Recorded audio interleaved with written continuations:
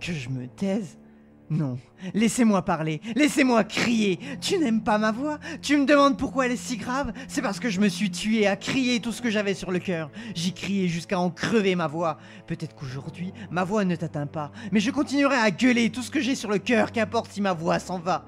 Je resterai debout, à hurler mes mots et mes pensées. Et si enfin je devais me taire, si enfin tu m'obligerais à la fermer, si enfin ma voix se tairait, crois-moi, ma plume resterait tant que j'aurai des choses à dire, tant que mes pensées fuseront dans mon esprit, je vous les vomirai à la face.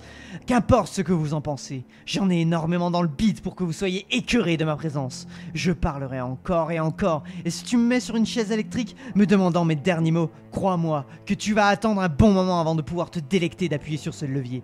Car mon dernier message sera un pavé, le plus grand des pavés, un pavé déconstruit où mes idées passent comme elles viennent dans mon crâne.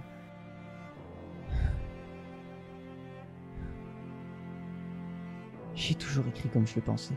On m'a dit juste, on m'a dit borné, mais surtout on m'a dit que j'en disais trop. Je n'ai jamais pu m'exprimer simplement car je n'ai jamais réussi à m'exprimer sincèrement. J'ai besoin des mots pour m'exprimer. Mais les mots restent trop faibles face à ce que je ressens.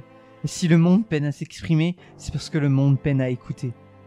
Il est peut-être temps de parler réellement à cœur ouvert. J'ai toujours évité de m'exprimer car j'en ai toujours attendu trop des gens qui n'attendaient rien. Le monde a peur des plaintes, peur des mots, peur des cris, peur des pleurs, peur des sourires. Le monde cherche à détruire ses rêves pour mieux contempler leurs échecs. Il est bien trop facile de dire que l'on avait raison face à ses déceptions que reconnaître l'erreur de son pessimisme. L'homme le rêve en le jugeant inaccessible avant même sa naissance, et ce fut ma vie de croire mes rêves possibles. C'est aujourd'hui ma vie d'être l'égocentrique de croire vivre mes rêves. Comment s'exprimer face à un monde qui t'empêche de rêver? Si on ne peut plus dire je t'aime à un ami sans que celui-là s'éloigne de peur d'être brisé. Si on ne peut plus montrer ses sentiments sans inspirer la pitié. Si l'on ne peut plus nous montrer heureux sans nous faire haïr pour suivre une nièce pensée. L'expression est devenue forme de honte. Exposer sa vie est synonyme de mouton et exposer ses ressentis est devenu signe de faiblesse. Aujourd'hui, je n'ai pas peur de dire qui je suis et ce que je ressens. Je suis égocentrique, rêveuse obsessionnelle, addict à la bonne humeur, haineuse de la dépression, j'ai un sourire trop franc face au malheur des autres, là où la compassion voudrait que je pleure. Mais j'ai toujours pensé que de pleurer avec un malheureux n'apporterait que plus de malheur, là où un sourire peut apporter une petite lueur. J'ai toujours souri et toujours été fier de sourire, et j'ai toujours du mal à dire que cela ne va pas, de peur d'être pris pour une personne triste. Je n'ai pas une vie horrible, je n'ai pas une vie difficile, je n'ai pas une vie qui a vécu de réelles horreurs. J'ai juste vécu ma vie. Je ne me plains pas car je n'ai pas à me plaindre mais on tend à vouloir m'empêcher de m'exprimer. Sourire, être heureuse et ne pas se plaindre ne veut pas dire que tout va bien. À quoi bon s'obstiner à regarder le fond du trou si c'est dans le ciel que l'on peut voir les étoiles? Si je suis heureuse, n'ai-je pas le droit de dire que quelque chose ne va pas? Et si quelque chose ne va pas, suis-je obligé de me morfondre en larmes? Je me sens trahi par ce qui m'arrive. Je me suis enfermé dans mon propre bonheur, me serrant mes propres mains sur ma bouche pour m'imposer le silence, Comment prouver que je suis heureuse si j'arrête de sourire et avoue que mon rêve a ses faiblesses? J'ai vécu mon ancienne vie entière qu'avec des regrets, des refus de voir la vérité, et encore plus de rêver. J'ai passé mon ancienne vie à me cacher de ce que je croyais mauvais. J'ai recommencé ma vie pour ne plus faire d'erreurs, et tout a marché. Jusqu'à aujourd'hui. J'ai mon premier regret. J'ai cru trop longtemps que sourire suffirait à embellir le monde qui m'entoure. J'ai cru trop longtemps qu'en enseignant ma vision des choses, je changerais les gens qui m'entourent et créerais un monde plus beau, un monde plus rose. Mais je me suis trompé, car je ne faisais que me forcer à paraître comme je pensais qu'ils voulaient me voir.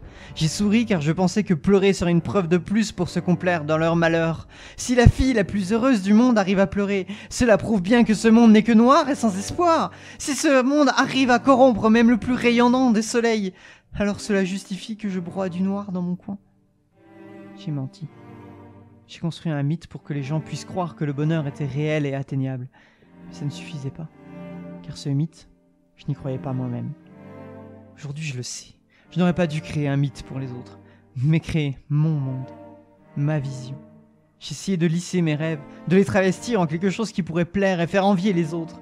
J'ai construit quelque chose qui donnerait envie aux autres avant de penser à ce qui me faisait envie. Je me suis retrouvé maintes fois devant cette vérité mais je l'ai refusé. Quand les vérités tombent, il est toujours trop dur de comprendre qu'une erreur peut être réparée. Je me suis enfoncé dans cette vision, à croire que je pourrais changer le monde grâce à ce mythe. J'y persisté, je l'ai peaufiné, je pensais être dans la bonne voie. Et pourtant, malgré tout mon bonheur, j'accumulais ces soirées à pleurer sans comprendre pourquoi. Je voyais tous ces gens m'entourer, et pourtant j'ai toujours ce sentiment d'être moi, oublié. Ce sentiment de ne faire partie que d'un passé d'autre, un passé oublié pour ne plus être une trace, mais qu'un reste de griffures s'étouffant dans le temps. Comme d'habitude, je crois en moi, mais je n'arrive plus à croire en moi chez les autres.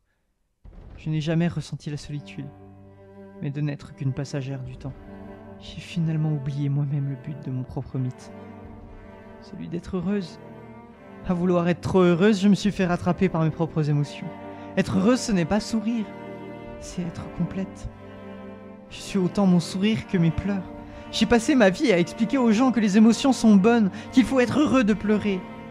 J'avais juste oublié de me le dire à moi-même. j'ai perdu tant de temps à me consacrer, à rendre ce monde meilleur que j'ai oublié de m'occuper de mon monde. C'est terminé. Désormais, je m'occuperai de mon monde. Et il sera toujours fait de roses et de bonbons. Je serai toujours égocentrique, rêveuse obsessionnelle, addicte à la bonne humeur, haineuse de la dépression. J'aurai toujours un sourire trop franc face au malheur des autres, là où la compassion voudrait que je pleure. Je penserai toujours que pleurer avec un malheureux n'apporterait que plus de malheur, là où un sourire peut apporter une petite lueur. Je sourirai toujours, mais je n'aurai plus peur de dire que quelque chose ne va pas.